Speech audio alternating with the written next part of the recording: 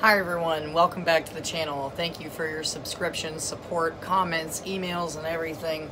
Helps drive me. Today we are going to go over a suggestion from Queen Cat um, on, this is an article and video from dogsbite.org. Um, this was, these, these um, assessments of shelter dogs were done in July 2020, roughish, uh, so relatively recent. I'm sure for some of you already know dogsbite.org, might have already seen this, um, but we're going to go through it. We're going to read a little bit into it. I will probably touch on a couple things, and I might even play a clip or two, though I'm a little hesitant to do that because I don't want to violate any kind of copyright and cause a video to get taken down, but I guess this is just a good good as time any to see if that's going to happen, right? Excuse me. This is Shelter Dog Behavior Review with Sue Sternberg and Gia Savocci, okay? And they're reviewing worst case scenario dogs. and it's really sad because over and over again, they speak on the fact that these dogs would be adopted out. There was a euthanasia ban, which prevented them from being able to put the dogs down. And some of these dogs just sat in these kennels and cages for years. Um, one of them, I remember her saying two years before they were actually euthanized. So not only is that just plain stupid, uh, it's a waste of money, it's a waste of time, and uh, whether you like dogs or not, that's resources that could have gone to a critter that's actually worth it, or I don't know, maybe a human. Um, but hey, let's not talk about that. We're not ready to talk about that, as the kids say. uh, but this was extremely disturbing. She was right. So I highly suggest you guys go and watch this video. Um, it's pretty long, uh, but you know, if you zoom in a little bit and just pay attention to the the um, the video as you go through it, you'll get to the part where they're actually testing these dogs, and it's pretty wild to think like that these dogs were adopted out. Um, says right here, now that I'm looking, this was created March 1st, 2021. So pretty recent, right? And a lot of the shelter reviews being from 2020. Um, interesting stuff. So I'm going to read you some of the article and then let's see. I wanted to play one one dog that they had pulled up uh, so you guys could see it. It's about a Cane Corso. Very large breed of dog is capable of, inflicting great damage. So let's let's brush through the article a bit. Oyster Bay, New York, in a rare appearance on YouTube, we're able to bring you the expertise of animal behaviorist Sue Sternberg. She's been crafting the Assess a Pet protocol test for shelter dogs since the 1990s. While professionals and the public can always access paid webinars of Sternberg, it's an atypical occasion to witness and learn from her in a two-hour YouTube video where she reviews the worst worst case shelter dog scenarios with behavior specialist Gia Savacci. Um, both great people, lots of great points. Um, you know, the one lady, she actually works with dogs, and she's even reasonable enough to say this dog needed to be euthanized, this dog needed to be euthanized. She even points out that there's one highly aggressive dog that just does nothing but spin and bark and snarl just all night and all day and then it upsets all the other dogs in the other kennels uh you know which yeah that's pretty wild. Um nobody wants that right? Like hold on a second. I gotta get fluffy. Yeah. Well i think i'm gonna need it for some of these explanations. We all know i like to use my little my little things here. Um i'm still in the middle of the battle with the carpenter ants in case anybody wants to know definitely gonna have an exterminator come out soon. What's going on down here? I'm definitely gonna have an exterminator come out soon and, and do something. I try to treat things the natural way, and and now that we've entered the bleach era, we're out of the natural realm. So it's just time to call in the professionals. Uh, in case anybody wanted to know, I'm still alive. They didn't carry me off and kill me. I'm winning the battle so far. Back into this. Uh, Savacci is currently the contracting behavior specialist at the Oyster Bay Animal Shelter. On the day this video was posted, Savachi was in the news after she posted a TikTok video in response to harassment she receives from no-kill shelter advocates. who believe that no aggressive behavior, including killing dogs and people, is enough to warrant humane euthanasia. what world do we live in? I'm just not used to this, and I always knew dogs were like screwed up and stuff, and I started making this channel, and I knew people were like doing that and going, no, no, no, it doesn't matter how aggressive it is. I didn't know it was happening at such a rate. They even said they put down a dog. Uh, she might even talk about it here, so I apologize if we double over. Where they had to put down a highly aggressive dog, and there was a huge protest, and people showed up and had candlelight vigils and all this crazy stuff. And I'm like, once again, I'm always saying, I, I wish we could treat humans with this type of compassion and understanding.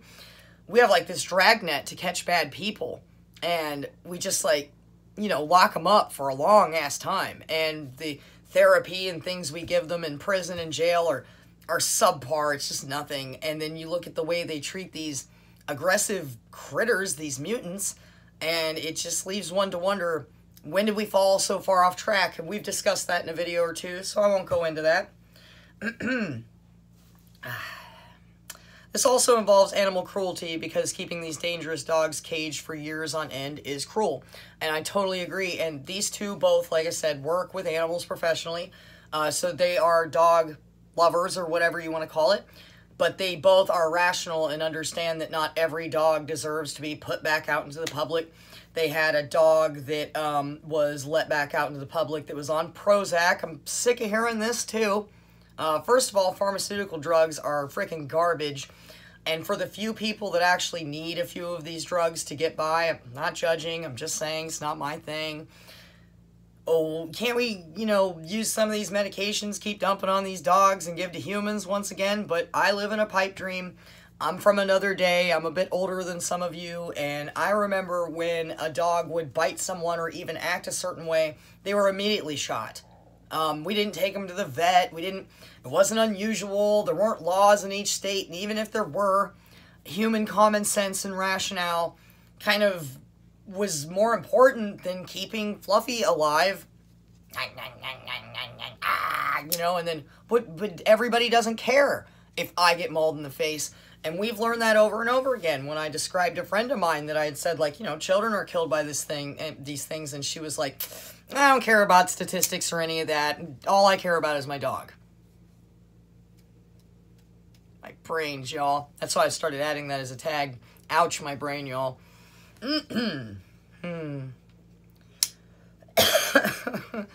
Savatgy was a whistleblower in a two-part news investigation last year of the North Shore Animal League the shelter had been hiding the dangerous histories of some dogs available for adoption. Savachi and her colleague, John Bischow Simevelis, also said they were directed by their superiors to hide biting history of dog and use euphemisms instead. There's also a pattern of bullying by upper management that encouraged employees not to disclose these behaviors. And we discussed this um, on another video where they just take the animal, if they're having problems in that area and people didn't use their euphemisms, and ship them to another state and just adopt Fluffy into another house to kill another child.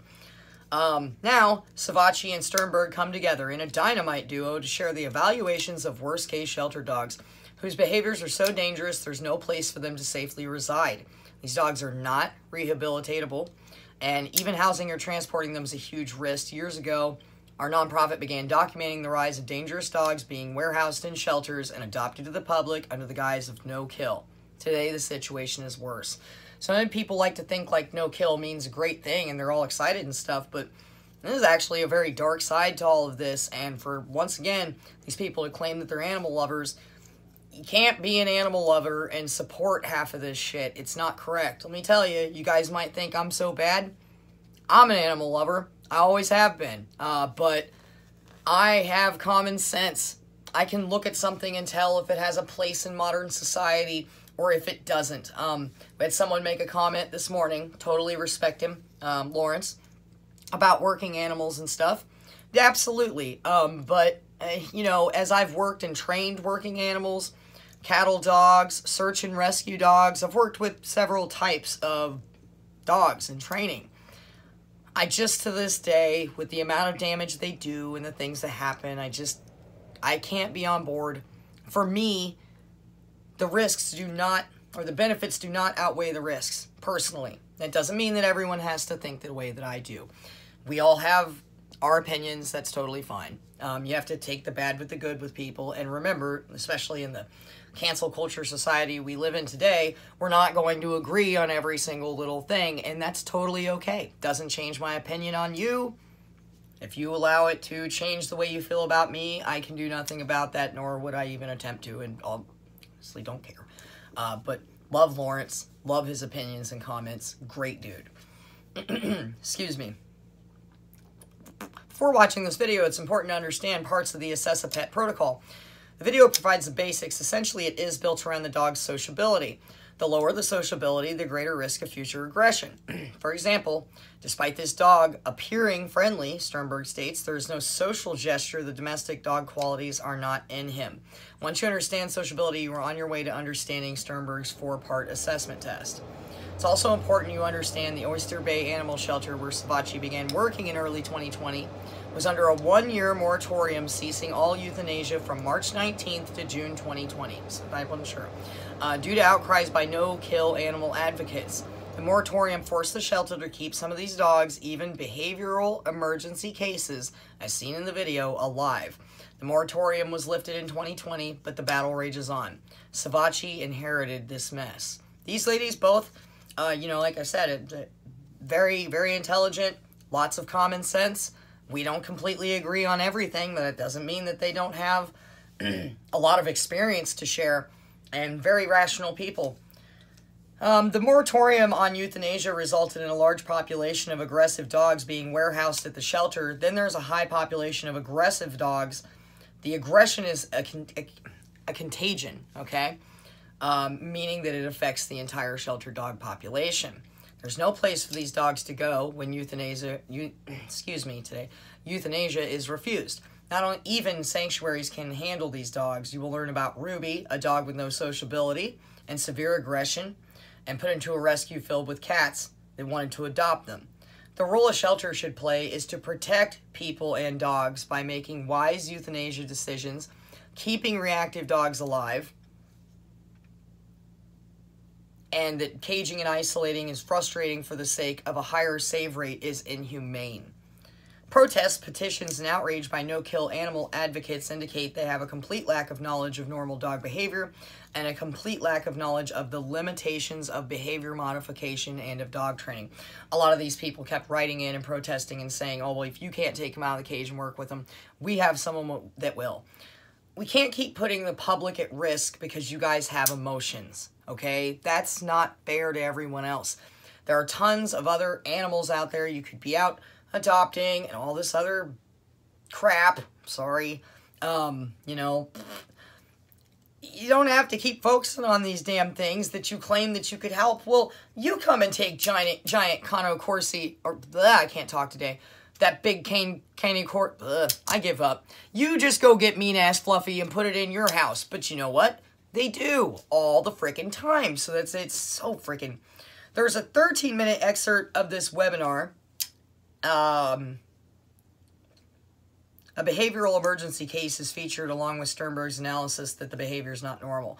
I'm going to probably play that one. I'm going to focus on the most severe one. It was uh, pretty interesting, and I'll talk you through it since I'm not going to play the video. I'm just going to let you hear the audio. Uh, Ruby, a female pit bull, has predatory behavior, killed a cat at the shelter, and attacked a dog through a fence. A dog is under legal proceeding. A trust was created to seize her from the animal shelter and place her into a rescue. The dog has been in legal limbo for two years. The dog can open up gates. A rescue that wants the dog is an indoor facility uh, with about 2,000 square feet. Cats and dogs, primarily cats. About 110 to 150 animals in that space already. Sternberg talks about the frustration a dog like this experiences because it would be trapped in a shelter with a bunch of cats and it's a cat attacker.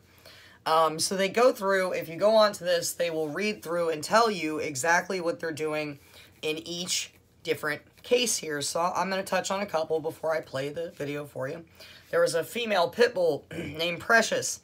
It shows the injuries after Precious and Ruby had gotten into a fence fight. Precious had been in and out of shelters her whole life. Savatgy asks if it's valid for animal advocates to say any dog will fight through a fence and that Savatgy should not negatively score a dog for fence fighting.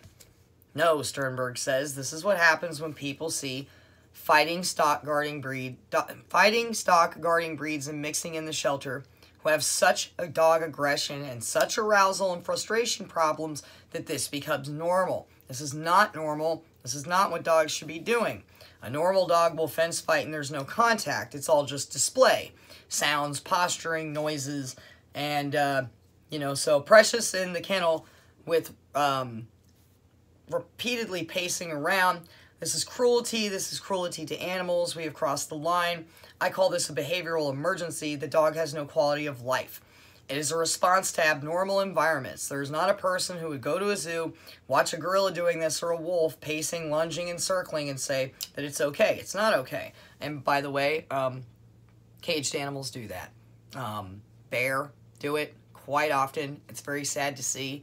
Um, there's there's a lot of that. You see elephants swaying and going into depression whales that bash their brains into the walls to kill themselves, dolphins. Uh, this happens all the time. So, you know.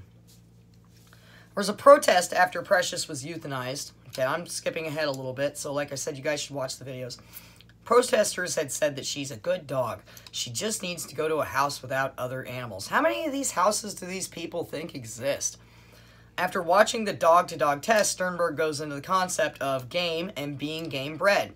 Precious was not playing with the stuffed dog that they were using as their um, their indicator. Precious, like, yeah, I watched it, came in and immediately goes for the neck, flips this very lifelike large stuffed animal over, and starts going for the throat and holding it and dominating it immediately. There was no, like, stop and check it out.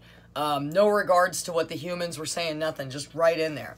Um, and like I said, how do you know that they're not playing with the stuffed dog? And as she said, play is reciprocal reciprocal. My, my language today, sorry, my MS must be showing. But she is showing her motor motor patterns. All of her behaviors are to kill. She's not doing it out of anger. These dogs do not belong in our communities. When shelters place these dogs or send them to rescue and they get loose and hurt somebody else's dog or a person, the emotional and financial ability, it's so irresponsible. It's got to stop. This is all in the name of a complete lack of knowledge of normal dog behavior and a complete lack of knowledge of the limitations of behavior modification and dog training. Okay, so let's go to. Okay, this one was interesting.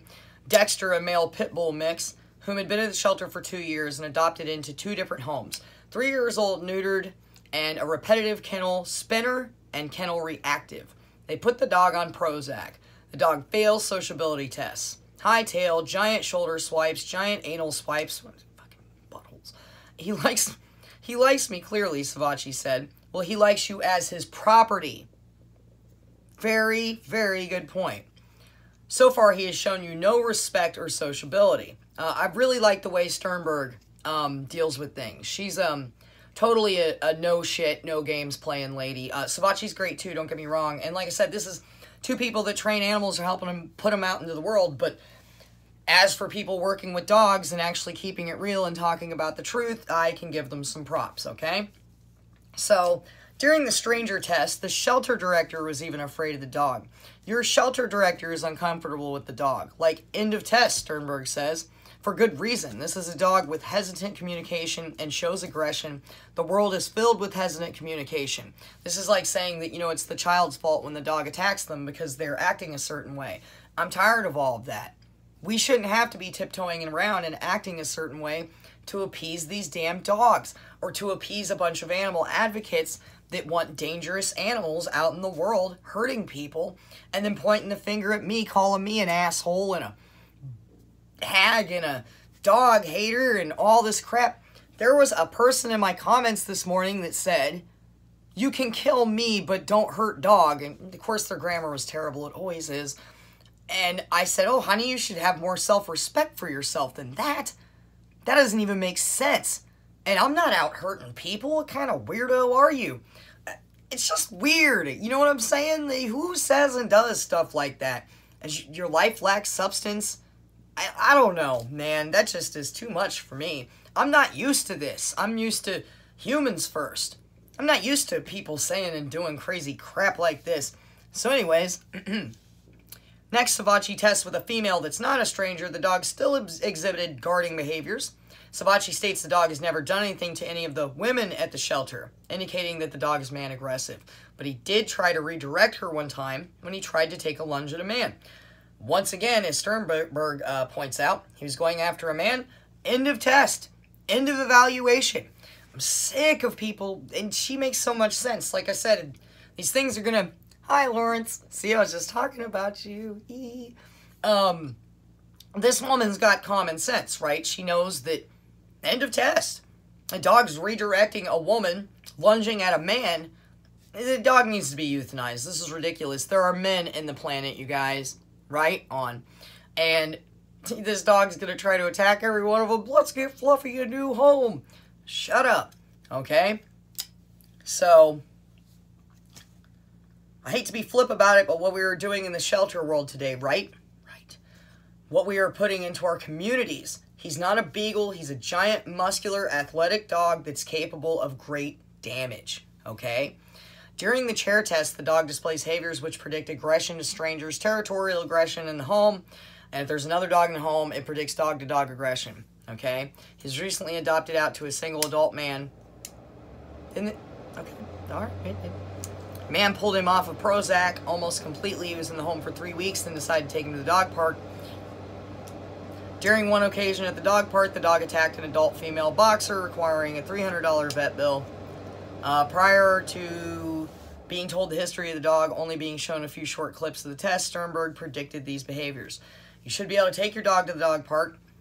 Why not take him to a park when no one's there? Then a man shows up. What if he had killed the town employee that he had lunged at? The only people who really qualify to take a dog like this is someone who's lived with a dog that had that level of aggression. And anyone who has already lived with a dog with that level of aggression would say no thanks to their next after having the same issues. That's the paradox.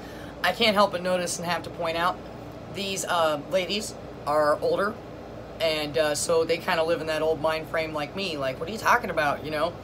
Uh, so let's cover Teddy, the the Cane Corso, real quick because that's the clip I'm going to play for you before I wrap this up. Teddy was found running loose with a female dog. It took multiple animal control officers, multiple police hours to capture the two.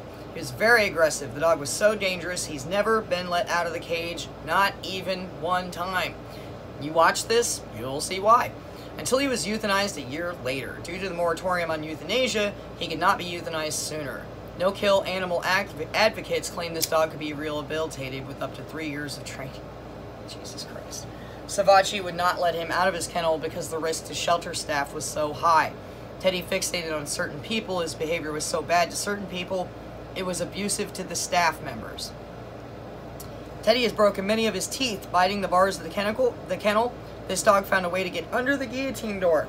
Okay, so I'm going to play this. Like I said, I highly suggest you guys watch this. It's, it's very alarming and informative.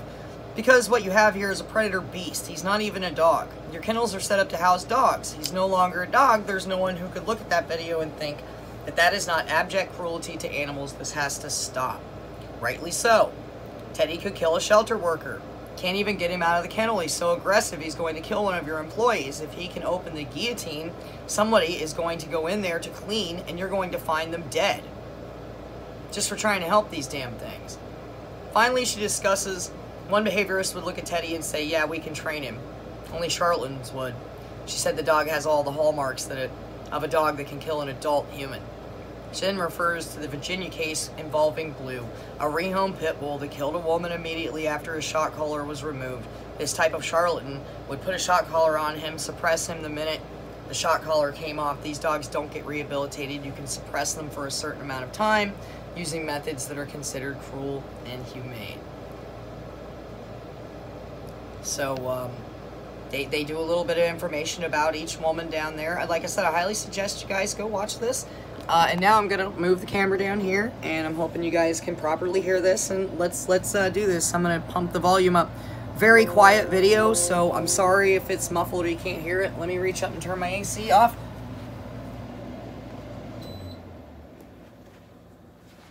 All right, here we go.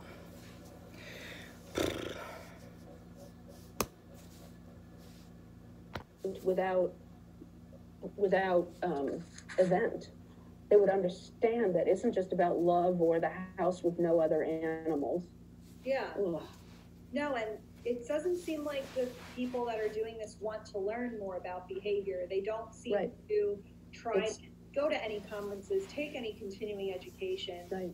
Um, one of the common things they like to say about me personally is that I'm afraid of these dogs, that I'm fearful of dogs, and that is why. Right. Have have I acted fearfully in any of my videos? I mean, No, and Are you you scared should of these things? It doesn't matter. The the first person that this dog is going to meet on the street out in public is going to be afraid of the dog. So Yeah. it doesn't matter. It doesn't matter. You Wait a shouldn't minute, I might be in the wrong dogs. Spot. Hold on. Predators. These dogs are dangerous. I am. Moment here, please. Apologies. and the adopter adopted him and then immediately dropped.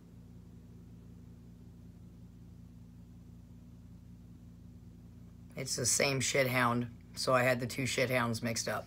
No This is the right to shithound. their next dog having the same issues. That's the paradox. So once you realize that, you realize that all we're doing is duping somebody into adopting a dog because they don't truly understand. Absolutely, yeah. Yeah. uh, it, and also, you know, it doesn't feel good. I mean, for me anyway, to give somebody a dog like that, knowing Right. the impact that it will have on their Yeah. their life. Um, I'm and on the boxer's life and everyone at the dog park and you know so God. couple Sorry, more minutes. guys. I have this other dog. Um, his name is Teddy. He lived in the animal shelter for Here it over a year. He's an adult male Cane Corso. He had to, he was running loose with a female dog, and uh, they had to be captured with multiple police officers, multiple police cars, multiple animal control officers, and it was like took hours. It was very The last time they had to do that to me, I had to pay like $6,000 in fines, and they talked about euthanizing me. very hard to capture and very aggressive. Um, and due to the euthanasia ban, uh, he sat in the shelter for a very long time, and he did not get out of his cage one time from the time that he was placed in the Oh. cage God. to the time Oh that he was euthanized. And Oh my God. argument with the people who wanted him to be uh, adopted out was that he should be worked with and taken out of the cage, and that, um, you know, if he didn't want to take him out of the cage, they could have they know trainers that would be willing to take him out to work with him because he could be rehabilitated. I'm going to fast forward a little Um, bit. Well, now I upset the computer gods. Fixates on them like that. You know? Hi, Teddy! So that's with me. Teddy, Teddy! Aw, you nice ya. Hi, Teddy! Is this the human he likes? Hi, Catherine, how are you? Here comes the one he doesn't. Oh.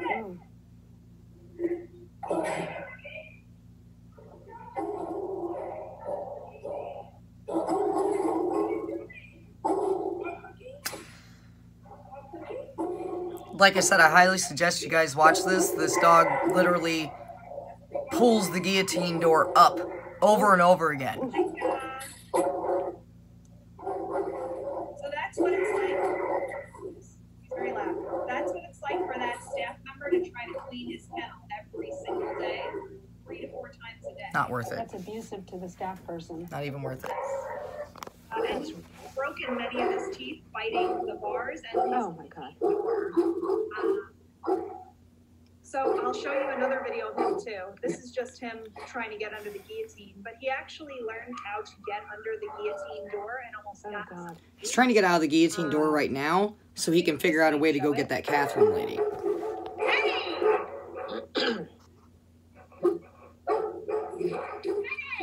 Oh. It's number one. He oh breaks through the door. Oh my God. Now he's attacking it. Jesus.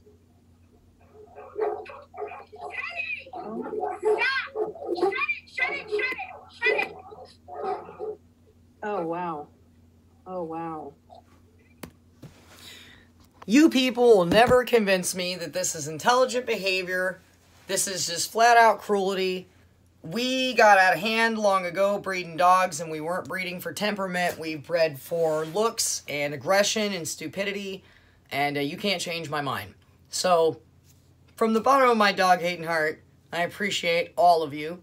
I highly suggest going and checking out this video. It's called Canine Behavior Review with Sue Sternberg and Gia Savacci. It's on dogsbite.org. Um, not, not an old article, real easy to find. Um, once again, everybody's great. Appreciate y'all. I'll get another video knocked out tonight. Um, fuck Fluffy, right? And uh, I'm sorry. Uh, this, this is just absurd to keep these things alive. It's one thing everybody's going to have their damn pets and I got to deal with the barking and everything else. This stuff is just unacceptable. So, thank you for the suggestion, Queen Cat. Um, thank you to everyone in your uh, comments and emails. I've been getting some great emails from um, TLSD. She knows who she is.